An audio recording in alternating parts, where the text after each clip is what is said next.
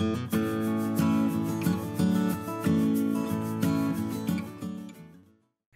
everyone, Paula Caldwell here at Patchwork Plus.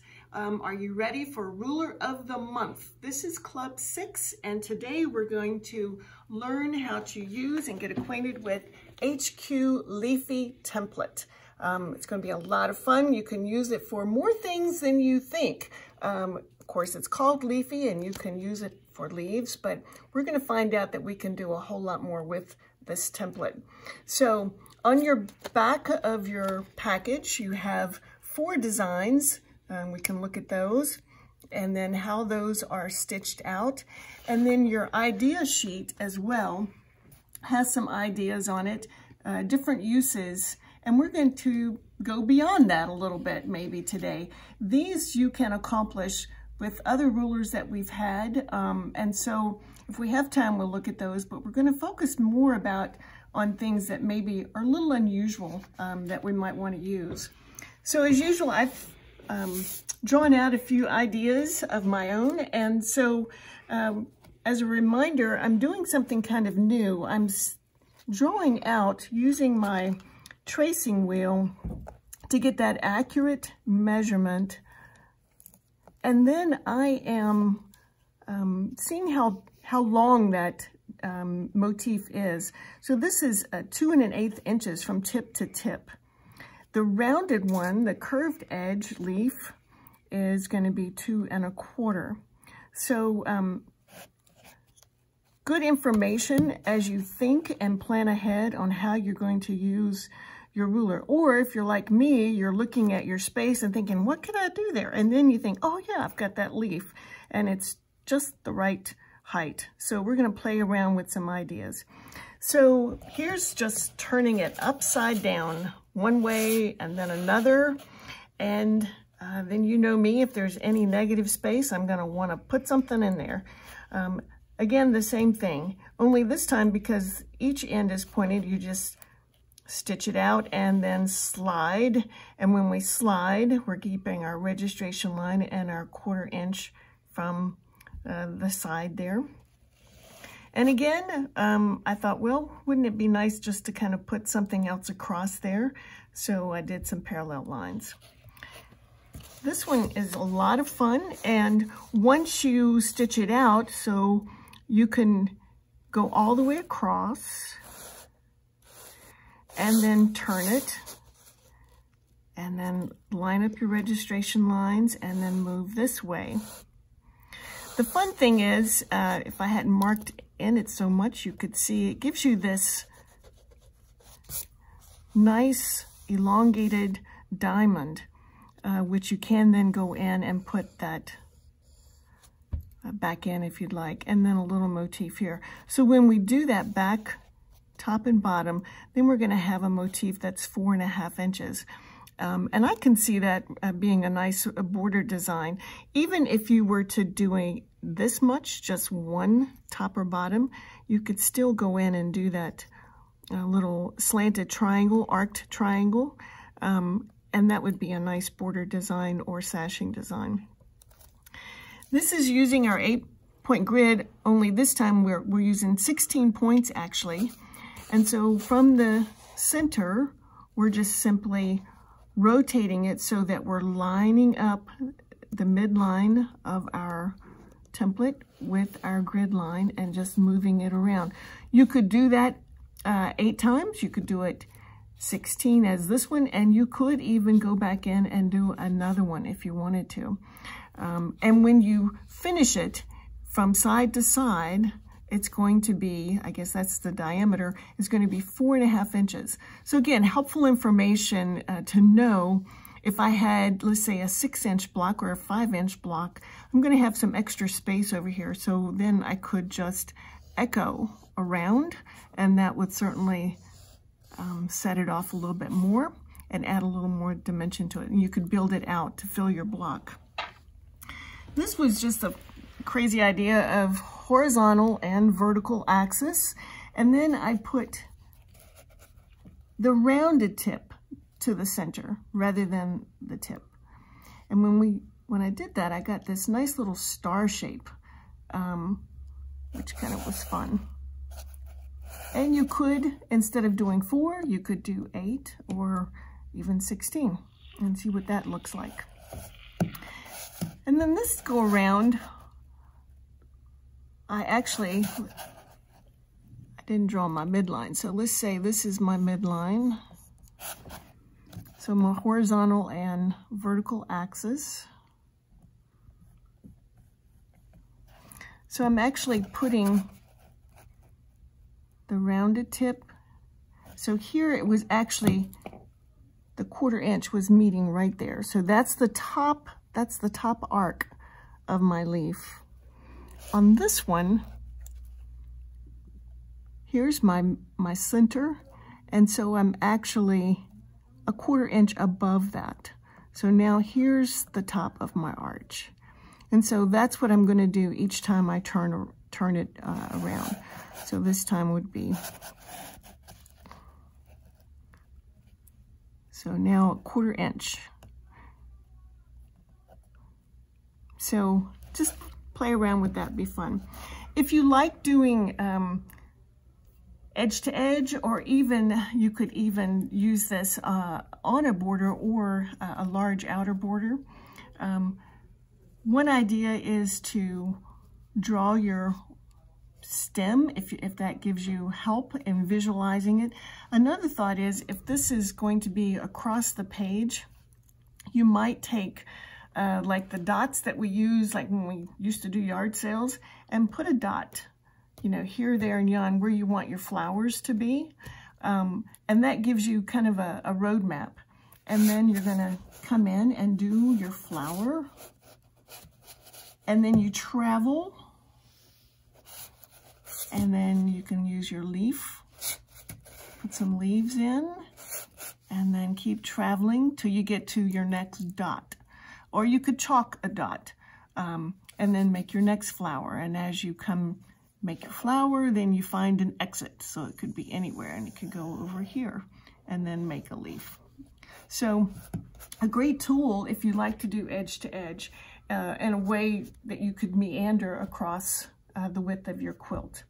So lots of ideas again. This is going from the center with the pointed end, um, the pointed leaf, and that is just on an eight point grid. So we're gonna do some of that at the machine. So let's get started and we'll stitch some of these out. Let's go see what it's all about. I've drawn my grid and I don't know if you can see that, my eight this is 16, and I've stitched out, um, I skipped one, so we'll go back and do that one. One, two, three, four, five, six, seven. So number eight, I missed. Um, so we'll go back and pick that one up. So I'm starting in the center, and the other important thing is to remember that your template is looking up at you. Of course, if you have your hand to grip on, that'll um, tell you which side is up. But it is important because our registration lines, if we have it flipped over, they get distorted and they're not true. So it's important that you be able to read Handi Quilter, uh, Handy Gadget, I think, guess is what it is. Okay, so we're using our rounded leaf and we're going to go to the center. I'm going to put my needle down, needle up. All right. Okay, a couple of securing stitches. Get my template out of the way. And then I'm going to move her into place. So I'm going to, there's a, a line right there in the middle of that template, and I'm going to scoot it over so that it lines right up with, with my blue registration line.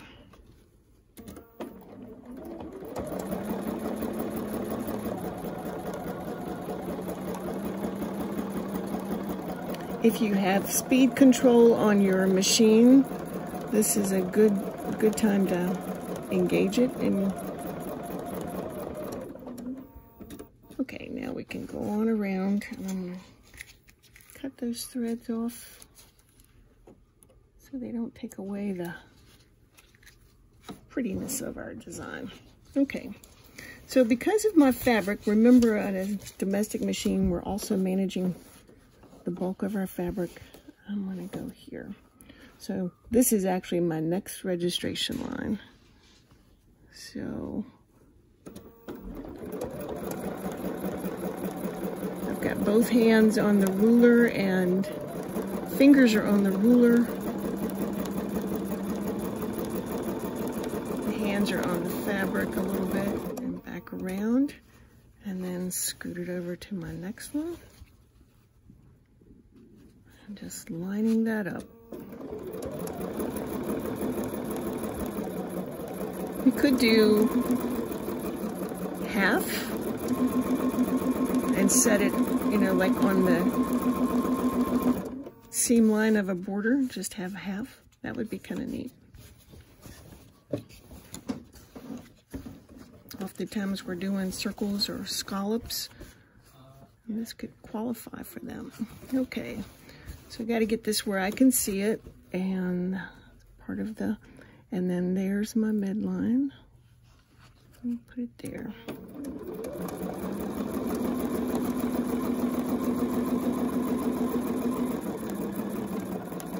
On curves, it's easy to get off. You just want to keep that foot right up against the ruler. Just firm, but not super hard. And there.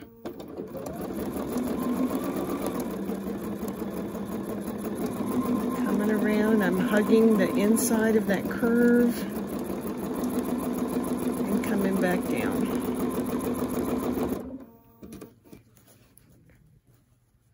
You will get a little bit of buildup of thread in the center.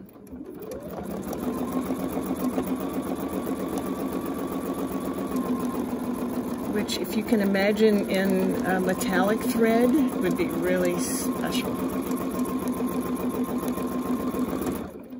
This is a 50 weight thread that we're using today. Okay, if you're pin if you're pin basting, you want to take your pin away when it's interfering.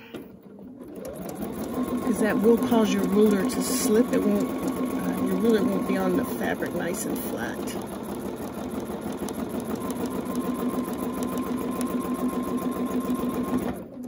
Okay, just a couple more.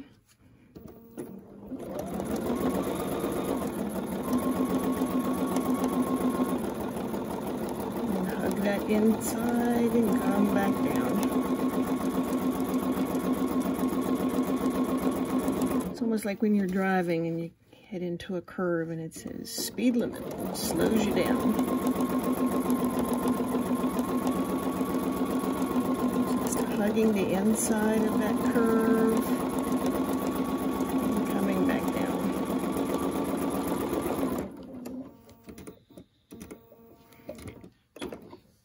The nice thing too about this design is you get that wonderful secondary design on the inside, which it's almost like two for the price of one. So we get this nice secondary design too. That's a fun design. But you could do half along a border. Um, you could even fill up a triangle if you wanted to with three. So possibilities are endless comes to that. This little guy is trickier than he looks. And I'm always curious what you guys are going to be doing.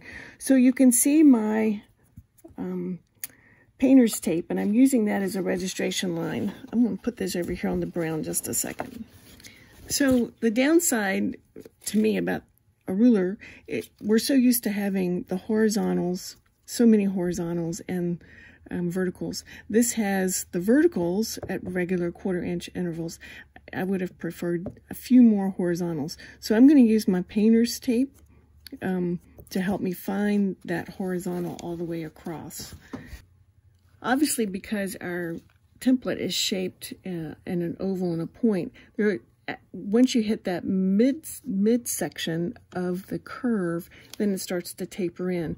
So if you use that, if you come below, then you get that little loop when you go back back up for the next one. That's probably not making much sense. But my tape is helping me see where that midpoint is. And then I'm going to slide it over.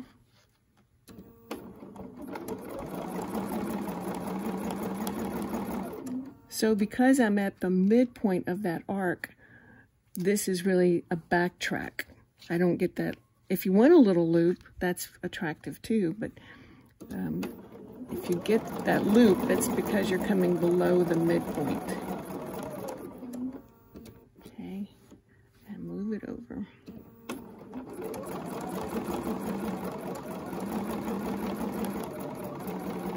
I can see this being a, a nice fill if you're doing a background fill.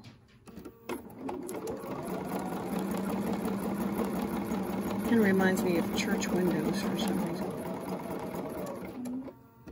Okay. Now, to get that echo down, if this were a seam line, I would travel down. If it weren't, if it was freestanding, I would stop and start. Um, so now what I'm going to do is I'm going to keep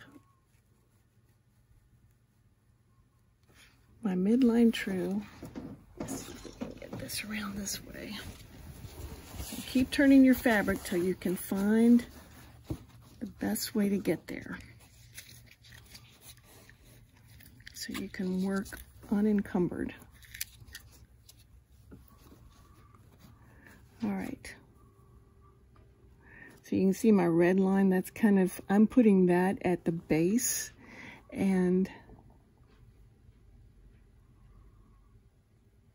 it's kind of distorted from where I'm, the way I'm looking. So my needle is going to be at the edge of that tape because that tells me that I'm at the midpoint of my arc. I'm going to travel back up and down.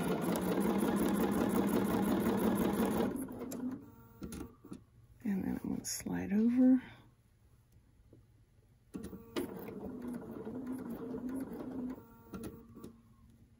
Okay, I'm going to show you some. So you see, uh, may not be important, but I like that to be there. But I want this to be straight. So what I'm going to do is when I come up, and as I come around, I'm going to just shift it over there just a little bit.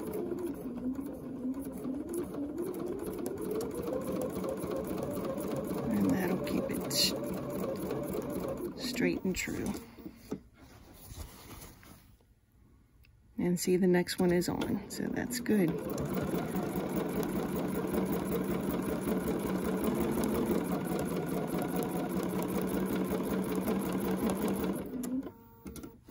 And one more.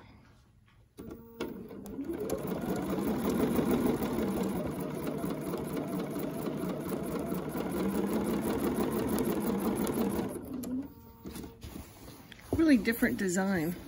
Um, and as they show on the back of our design sheet, you can keep repeating that and get, um, I don't know, what kind of, is kind of like a chevron or a, um, uh, not a tweed, but I can see if you were using a lighter weight thread, a 60 weight or an 80 weight thread, and use that as a background, you'd get some really interesting texture.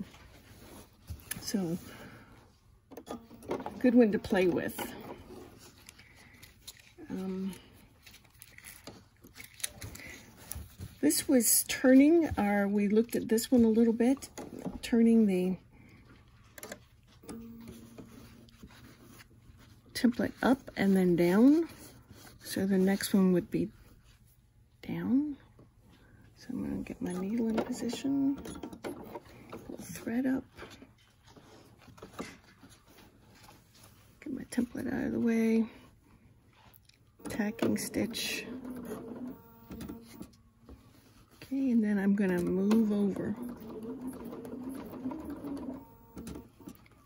And so what I'm looking at is this quarter inch um, back here.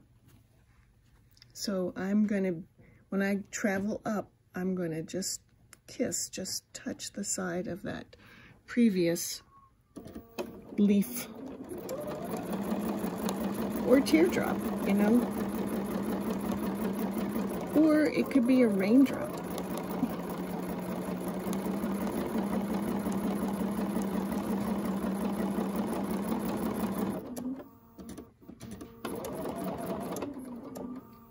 Okay, and then I'm going to travel over.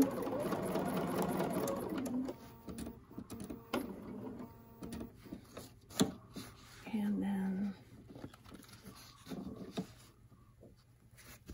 let's turn it this way. Might be able to see it a little bit better. See if I can see what I'm doing. Okay. So I want this about a quarter of an inch away. Quarter inch there.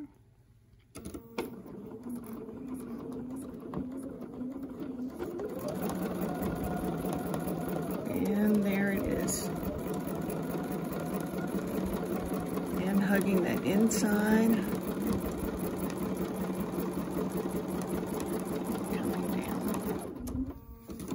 So just alternating, and you can do that with either shape, with the rounded shape, or with the uh, leaf that's got the point on it.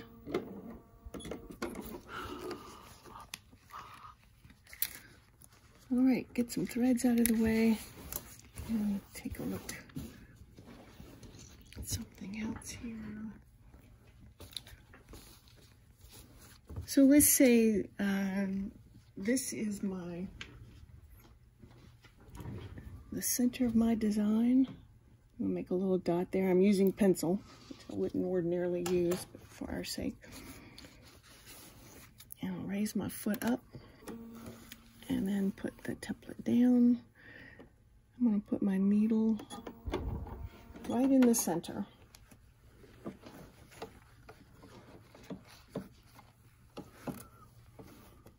Okay. And of stitches. All right, now I'm going to line up the midline on each one we're just going to make four passes.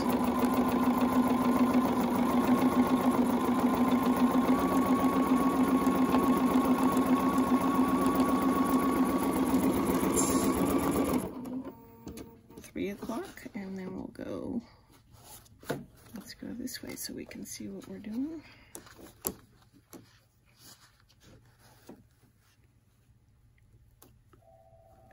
And now we're at six o'clock.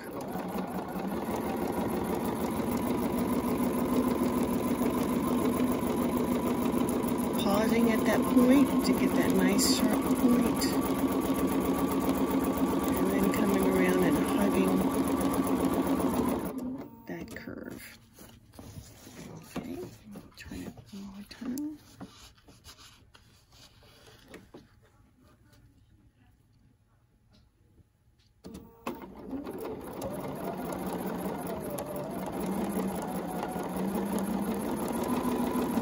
off on that one.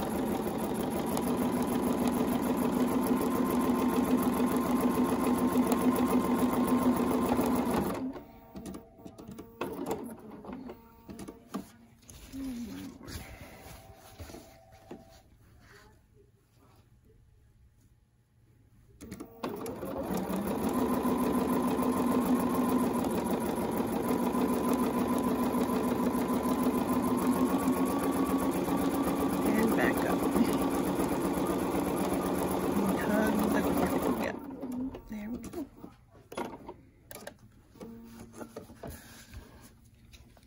Kind of a neat design.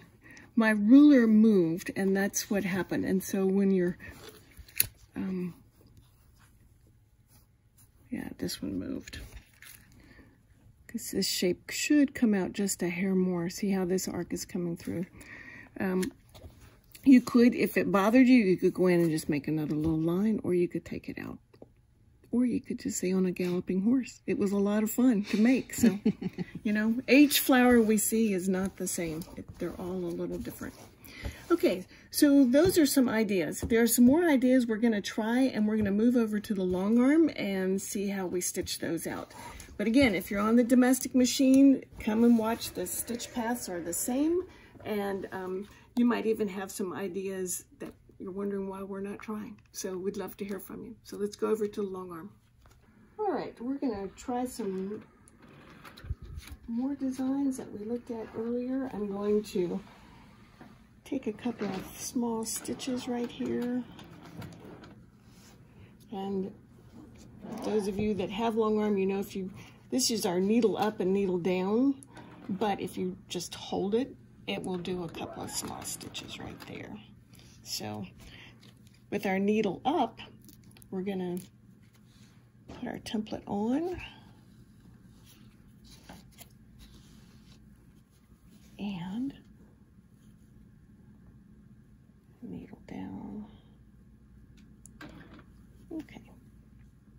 So this is this is going to be my horizontal line and then I'm going to go, oops, excuse me.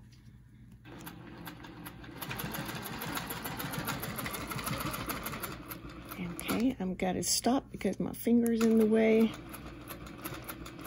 Hug that curve. Come back down. I'm going to travel over.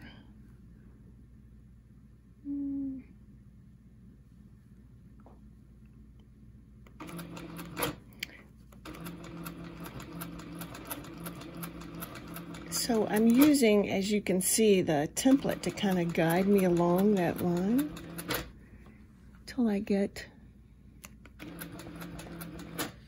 so I'm looking here and I'm about one quarter inch away, if I want them touching.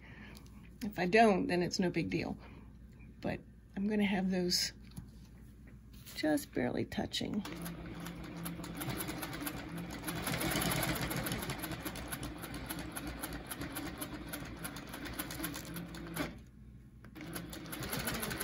You want to make sure that all corners of your template are down. That's why I just moved that. Okay, we're going to slide along here. I'm going to check and see. So now I'm about a quarter inch away.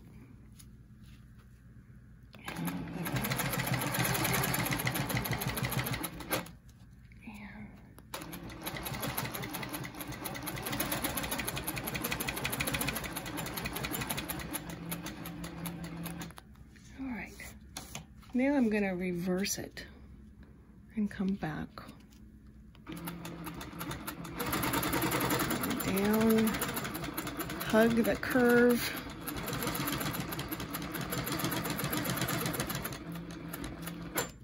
And then I'm going to slide back around.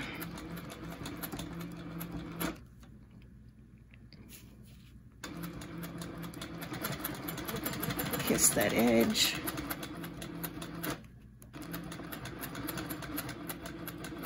the curve. Another reason to slow down around the curves, whether they're inner or outer curves, is if we don't, then we, um, the stitch isn't nice and even and it'll pull the bobbin thread up. And you get um, what we call eyelashes.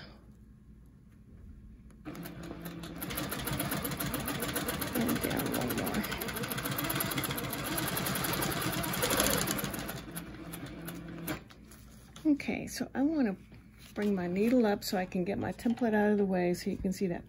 So earlier uh, when we were looking at drawings, I didn't have this stitch in the middle.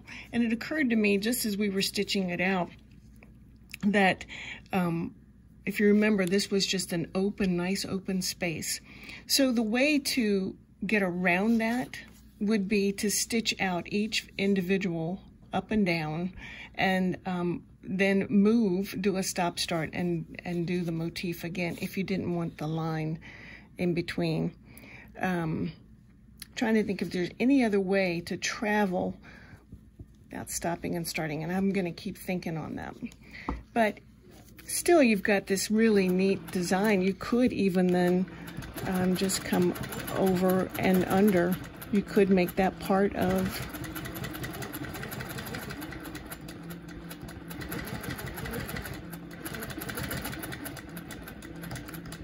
I've got the machine in cruise, but it's slow, so it's harder to, it's actually harder to steer accurately when you're going this slowly. It Needs to be a little faster. But you could use your travel line then as part of your motif, make it part of the motif. Um, and that's kind of a fun design. Uh, you could go back in and do some fill work on the upper and lower parts too. A little twirl in there or um, a teardrop or a little bubble of some sort. It would be fun. Okay, so let's try this whole idea of moving around our quilt like we're doing an edge to edge. So I'm gonna put a flower there, let's say, and let's say I've got another sticker over here.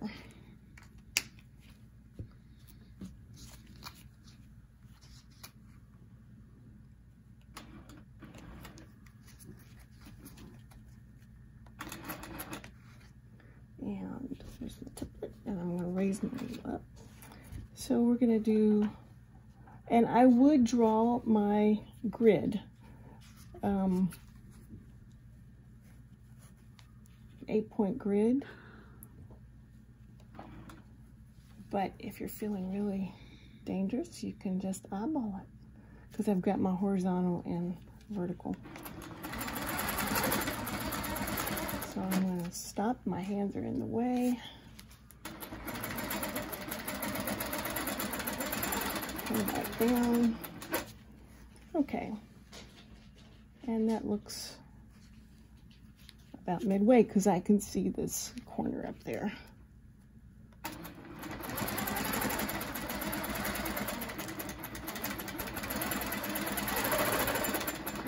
down, and then there's my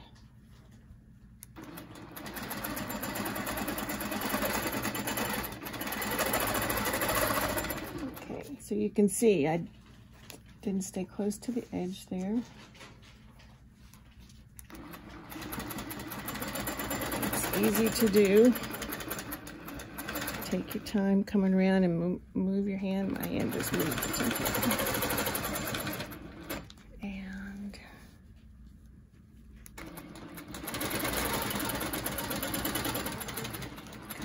around.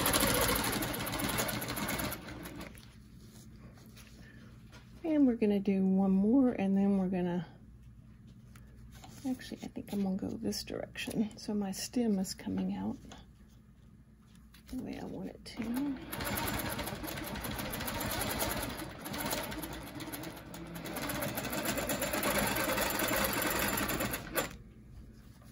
All right, now remember we gotta raise our needle to move our template and our machine wants to move a little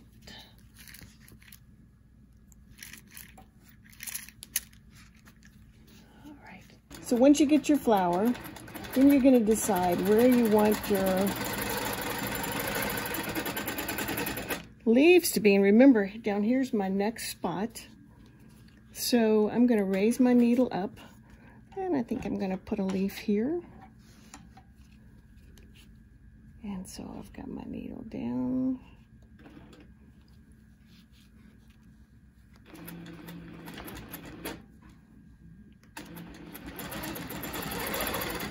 up and come down. You could even go up, put a little fill in there. And then I'm going to travel down, put another leaf.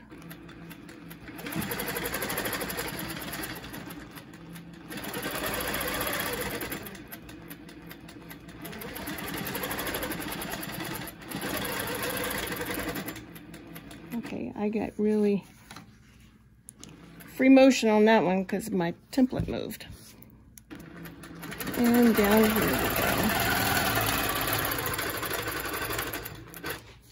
And then make your next flower.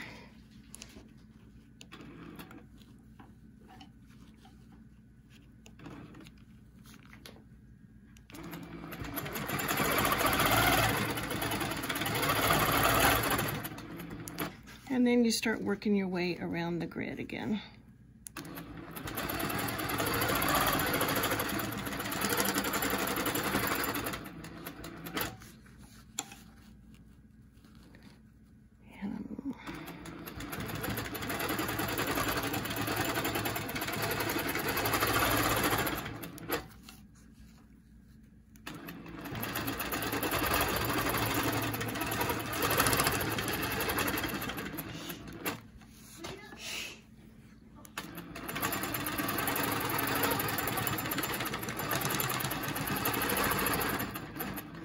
Around to the point. And you could put as many petals in as you wanted, um, obviously.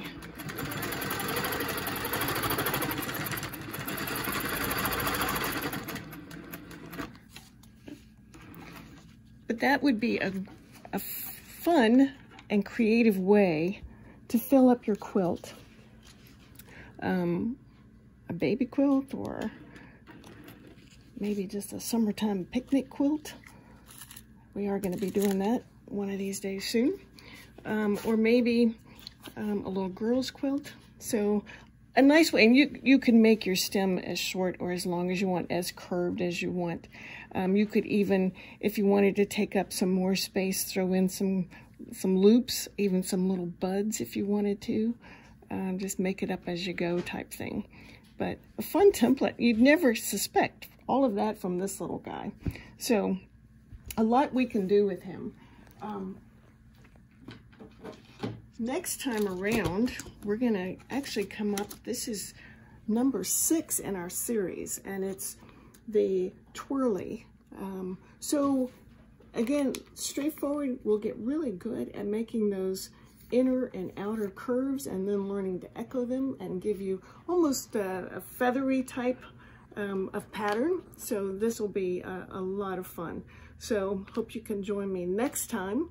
Um, until then, stay safe and healthy.